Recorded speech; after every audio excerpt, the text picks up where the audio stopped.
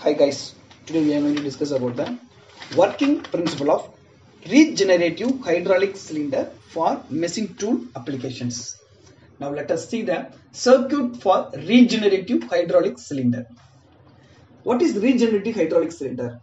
As you know, in many of the industrial applications, the machine tool required faster extension of the cylinder. Thus, the faster extension of the cylinder is achieved using the regenerative circuit. This circuit uses double acting cylinder and 4 by 3 control valve. Here at the spring center position the valve 2 is in blocked position and the two ends of the cylinder that is blind end and the rod end of the cylinder are connected parallel to each other and you can see the lines where they get connected. Now given particular position when the motor drives the pump it pump the fluid from the reservoir and pumped it to the port P. Now the pumped fluid from the port P is returned back to the reservoir or this position is known as neutral position or null position. That is nothing will happen at this position. Now the direction control valve is shifted towards the right envelope. Now the fluid from the port P try to get enter into the port 2 but there it was blocked.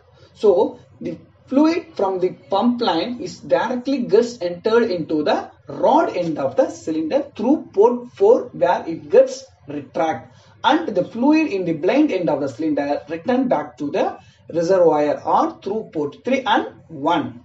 So for better understanding here I would like to say port 2 in blocked position. Now from this line this way the fluid enters into the rod end of the cylinder. This causes the rod end of the cylinder to retract. So now the fluid in the blind end of the cylinder return back to the reservoir through port 3 and 1. Now when the 4 by 3 direction control valve is shifted to the left envelope. Now the fluid from the port P gets entered into the port 1. From the port 1, the precise fluid gets entered into the blind end of the cylinder.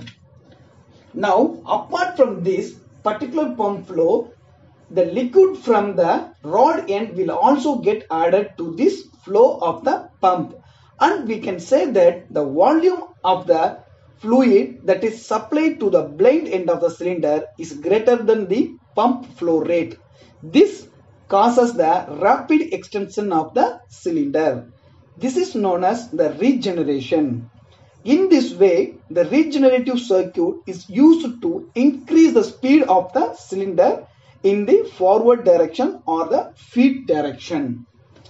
So thank you for watching.